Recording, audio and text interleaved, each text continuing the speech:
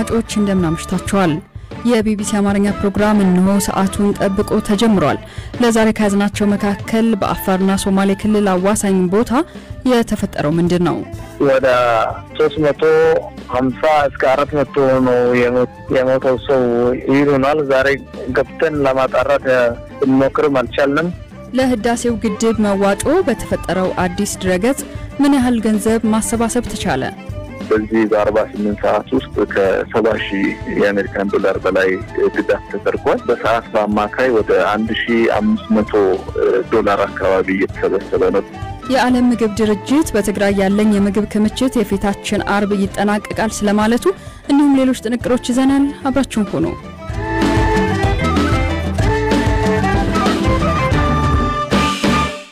የዓለም ምግብ ድርጅት ዳይሬክተር ዴቪድ ቢዝሊ የተባበሩት መንግስታት ድርጅት በትግራይ ያለው የምግብ ክምችት የፊታችን አርብ ይጠናቀቃል አሉ።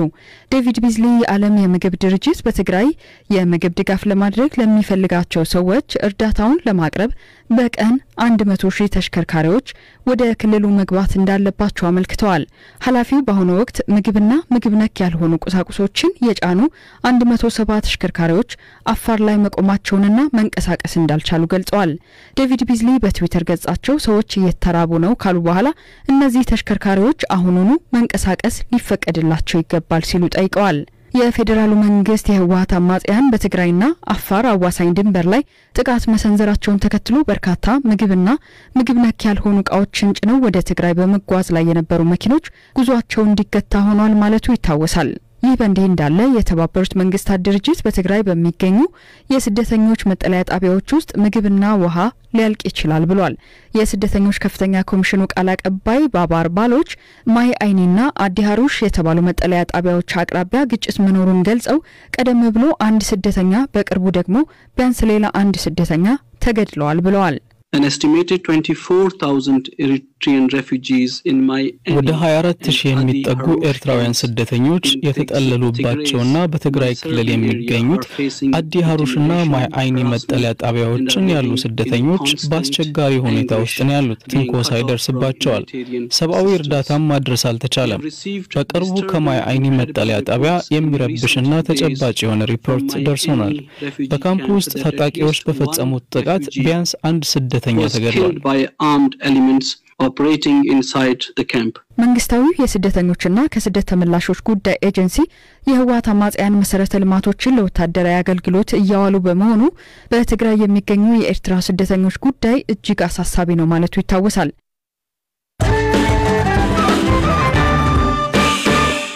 አፋርና ሶማሌ ክልልን በሚያዋስኑና ይገባኛል በሚነሳባቸው ቦታዎች በተፈጸመ ጥቃት በርካቶች መገደላቸውን የሶማሌ ክልል ኮሚኒኬሽን ለቢቢሲ ገለጸ። የክልሉ ኮሚኒኬሽን ምክትል ኃላፊ አቶ መሐመድ ሮብሌ ቅዳሜ ሐምሌ 17 ቀን በአፋር ክልል ስር በምትገኘውና በርካታ ሶማሌዎች ይኖሩባታል ባሏት ከተማ በንጹሐን ሰዎች ላይ ጥቃት መፈጸሙን ተናግረዋል።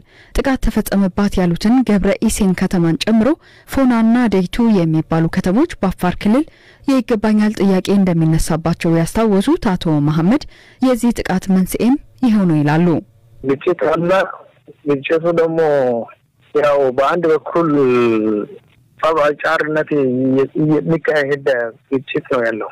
ገርበኢሴ የምትባል ከተማ ሙሉ በሙሉ ሶማሌዎች ናቸው የምንኖሩት። መጀመሪያ ግን አፋሮች historically ከተማዋ እና ሌሎች ሁለት ከተሞች አሉ፣ አንዱፎ እና አደይቱ ይባላሉ። ሌሎቹ ሶስቱ ከተሞች የእኛ ናቸው ይላሉ እና ሶስቱ ከተሞች አዲስ አበባና ጅቡቲ ያገናኘው መንገድ ላይ ነው ያሉት እና ገርበኢሴ የምትባለውን ከተማ ከአዋሽ መጀመሪያ የምታገኘ ከተማ ነች። እዛ አፋሮች መጥተው ከበው ወረው ከበበዋት። ከዛ በኋላ ከከበቡ በኋላ እዛ ውስጥ የነበሩ ሰዎችን ግማሾቹን ገደሉ፣ ግማሾቹን የተወሰኑ ደግሞ ወደ ስድስት መቶ ዘጠና የሚሆኑ ደግሞ መከላከያ ሰራዊት ካምፕ ገቡ። ካምፕ የገቡትን ትላንት ማታ አስራ ሁለት ሰዓት ላይ አወጣ ናቸው። እዛ ውስጥ የነበሩ ከተማውን ዘረፉ እንዳለ ንብረትም እዛ ውስጥ የነበሩ ሰዎችን ሌሎች ገደሏቸው፣ ተጨፍጭፈዋል ማለት ትችላለች። በጥቃቱ በሰውና በንብረት ላይ የደረሰውን የጉዳት መጠን የተጠየቁት ምክትል ኃላፊው ቁጥሩን በውል ማወቅ ባይቻልም ከሶስት መቶ በላይ ሰዎች መገደላቸውን እንደሰሙ ተናግረዋል። ከተማዋ still በአፋር እጅ ነው ያለችው። ግን እዛ ውስጥ ታግተው የነበሩ ሰዎች ከሰጡን information ሲነሳ እዛ ውስጥ የነበሩ ከተሞ ወደ ሶስት መቶ ሀምሳ እስከ አራት መቶ ነው የሞተው ሰው ይሉናል። ዛሬ ገብተን ለማጣራት ብንሞክርም አልቻልንም። ግን ከተማዋ እንዳለች ተደመሰሰች ማለት ነው። ምክትል ኃላፊው ጥቃቱ የተፈጸመው በአፋር ክልል የጸጥታ ኃይሎችና ጉጉሞ በሚባል ታጣቂ ቡድን ነው ሲሉ ይከሳሉ። የአፋር ክልል ጸጥታ ኃይሎች ናቸው። አፋር ልዩ ፖሊስና ሚሊሺያ ጉጉሞ የሚባል ታጣቂ ቡድን አለ። እሱንም ጨምር ነው እና እነሱ ናቸው ጥቃቱን ያደረሱት። በጥቃቱ የተቆጡ ወጣቶችና ሴቶችም ከትናንት ጀምሮ ጅቡቲን ከአዲስ አበባ የሚያገናኘውን የመኪና መንገድና የባቡር መንገድ መዝጋታቸውንና የክልሉ ባለስልጣናት መንገዱን ለማስከፈት ወደ አካባቢዎቹ ማምራታቸውን አቶ መሐመድ ለቢቢሲ ገልጸዋል። አዎ እንደዚህ አይነት information አለ ሰምተናል። አለ ከትላንት ጀምሮ አለ ተብለዋል። አይሻ ደወሌ እና ሀዲጋ የምትባል ከተማ እና መንገዱን የዘጉት ሴቶችና ወጣቶች ናቸው። የሚል information ነው የደረሰን? ምክንያቱም እነዚህ ሰዎች በጣም እዚህ የተፈጠረውን ሁኔታ ተናደው ጥቃት አድርሰዋል የሚል information አለኝ። ግን ሸማግሌዎች እና ክልሉ መንግስት ወደዛ አካባቢ ሄደው ለመክፈት እየተሯሯጡ ነው። ስለ ጉዳዩ ከአፋር ክልል መረጃ ለማግኘት ወደ ተለያዩ የክልሉ ባለስልጣናት ስልክ ብንደውልም ልናገኛቸው አልቻልንም። ይሁን እንጂ በትናንቱ ፕሮግራማችን በገብረ ኢሴ ከተማ በአፋር የጸጥታ አካላት ጥቃት መፈጸሙንና ይህንንም ተከትሎ መንገድ መዘጋቱን በማህበራዊ ሚዲያ እየተወራ እንደሆነ ገልጸን ይህንን እንዲያጠሩልን የጠየቅናቸው የአፋር ክልል ኮሚኒኬሽን ኃላፊ አቶ አህመድ ካሎይታ ይህን ምላሽ ሰጥተውን ነበር። ስለ መንገድ መዘጋት መረጃ የለኝም። እኔ እየነገርኩሽ ያለሁ ጁንታው ይህንን መንገድ እዘጋለሁ ብሎ ሀሰተኛ ፕሮፓጋንዳ እያናፈሰ ነው። ስለዚህ የጁንታው ተላላኪ መንገድ ዘግተናል ሊል ይችላል። የእሱ ተላላኪና ቅጥረኞች እንደዚህ ሆኑ ሊል ይችላሉ። በ fake ሀገሪቱን መምራት የሚፈልጉ ኃይሎች ማለት ነው። የሶማሌ ክልል ላቀረበው ክስ የአፋር ክልል ምላሽ እንደደረሰን የምናቀርብ ይሆናል።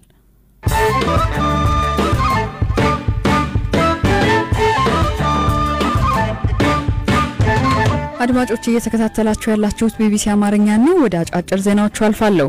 በሊቢያ የባህር ዳርቻ አንዲት ጀልባ መስመጧን ተከትሎ ቢያንስ 57 ስደተኞች መሞታቸውን ዓለም አቀፉ የስደተኞች ድርጅት አይኦኤም በትናንትናው ዕለት አስታውቋል። መርከቧ ከዋና ከተማዋ ትሪፖሊ በስተ ምስራቅ 120 ኪሎ ሜትር ርቀት ላይ በምትገኘው የሊቢያ ወደብ ኮሆምስ ወደብ መስመጧን ነው ድርጅቱ የገለጸው። አይኦኤም በሕይወት ከተረፉ ስደተኞች መካከል እንደተረዳው ከሟቾቹ መካከል 20 ሴቶችና ሁለት ህጻናቶች ይገኙበታል።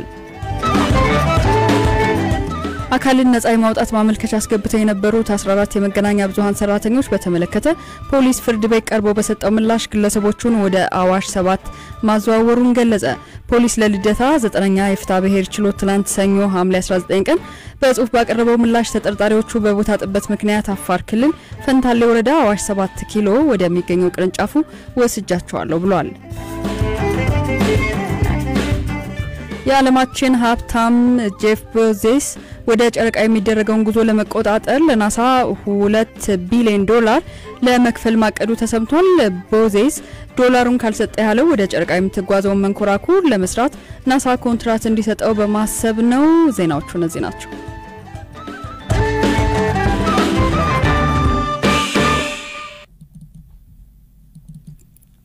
ወደ ተከታዩ ጥንቅር አልፈናል። ለታላቁ የኢትዮጵያ ህዳሴ ግድብ ግንባታ ገንዘብ ለማሰባሰብ በተዘረጋውና ባለፈው ቅዳሜ ይፋ በሆነው የበይነ መረብ መድረክ በ48 ሰዓት ብቻ ከ70 ሺህ በላይ የአሜሪካ ዶላር መሰብሰቡን የኢትዮጵያ ኤሌክትሪክ ኃይል ገልጿል። በዚህ ዙሪያ ተጨማሪ እንዲነግሩን የተቋሙ የኮርፖሬት ኮሚኒኬሽን ዳይሬክተር አቶ ሞገስ መኮንን በስልክ አግኝተናቸው ነበር። አንደኛ ከዚህ በፊት ድጋፍ ማድረግ ቢፈልጉ እንኳን ረጅም ሰዓታት በማሽከርከር ኤምባሲዎቻችን ወይም ቆንስላ ጽሕፈት ቤቶች ያሉበት አካባቢ መሄድ ግድ ይላቸው ነበር። ቦንድ ግዢ ለማድረግ እንኳን እዛ ድረስ ሄደው በአካል ተገኝተው ነው። አሁን በአካል መገኘት ሳያስፈልጋቸው ያሉበት ቦታ ሆነው መስራት ይችላሉ። ሁለተኛ አማራጭ ደግሞ በቅርቡ ይፋ እናደርገዋለን። app based platform ም እየተዘጋጀ ነው። ልክ እንደ ሌሎቹ የሞባይል መተግበሪያዎች በዚህም መንገድ እየመጣን ነው። ይሄ ማለት ዳያስፖራው ኢትዮጵያዊ፣ ትውልደ ኢትዮጵያዊው፣ በውጭ ያለ የኢትዮጵያ ወዳጅም ጭምር ለታላቁ የኢትዮጵያ ህዳሴ ግድብ ድጋፍ የሚያደርግበትን አማራጭ የሚፈጥርለት ነው ማለት ነው። አንዱ ጥያቄ ለምን እስከ ዛሬ ቆየ የሚለው ነው። ቀደም ብለን ጀምረ ነው ቢሆን ኖሮ ብዙ ርቀት መሄድ ይቻል ነበር ወይ ብላችሁ ታስባላችሁ? እንግዲህ አሁን ይህን አማራጭ ለመፍጠር ያው ብዙ ማሰብን ይጠይቅ ነበር። አማራጮቹንም ማምጣት፣ ከባንክ ጋር ማስተሳሰር፣ የሴኪሪቲ ክሊራንሶችን ማለፍ፣ አስተማማኝነቱን ማረጋገጥ፣ እነዚህን ስቴፖች ማለፍ ይጠይቅ ነበር።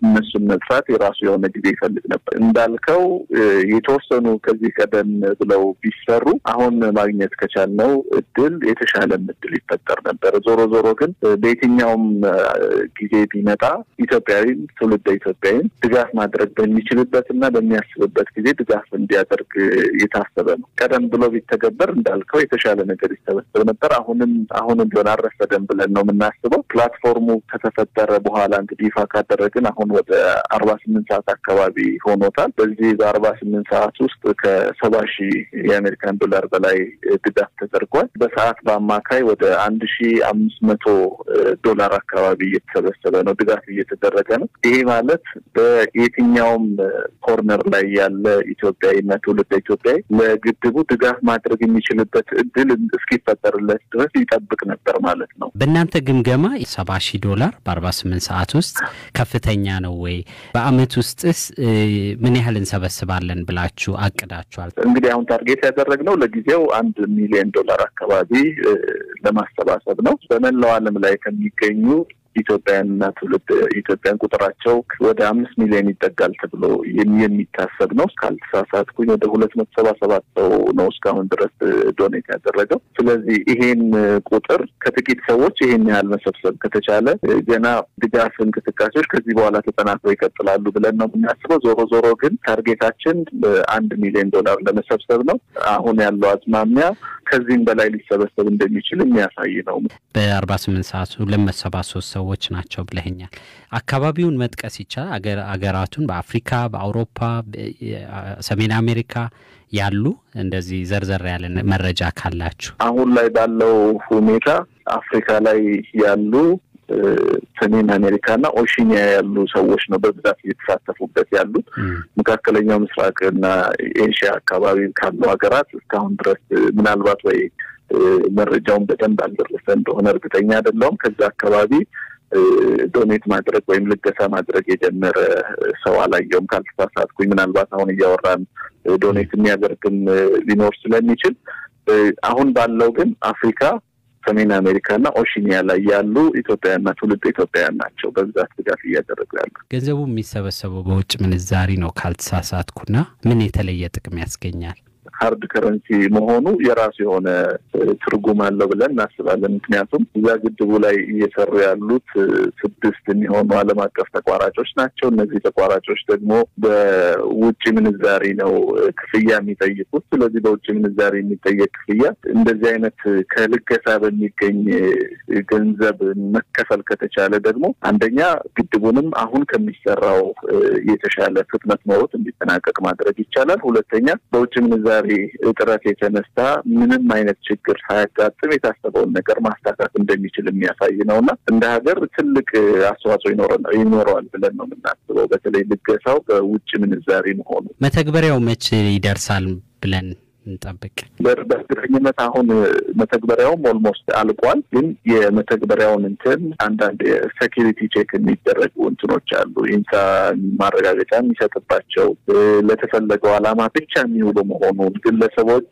ወደ ራሳቸው account ሊሄዱ የማይችሉበት መንገድ feature ኦቹን አይተው ወደ ታሰበው ብቻ መሄድ የሚችል መሆኑን አረጋግጠው እኛ ስንረከበው የዛን ጊዜ ተግባራዊ ይሆናል። ግን በአጭር ጊዜ ውስጥ ይሆናል ብለን ተስፋ እናደርጋለን። አድማጮች ለዛሬ ያልናቸውን በዚሁ ነው የምናጠናቅቀው። አብራችሁን ስለቆያችሁ እናመሰግናለን። ፍሬዎት ካሳ በመስተንግዶ አብሬያችሁ ቆየሁ። ነገ በሌላ ፕሮግራም ጠብቁ። መልካም ጊዜ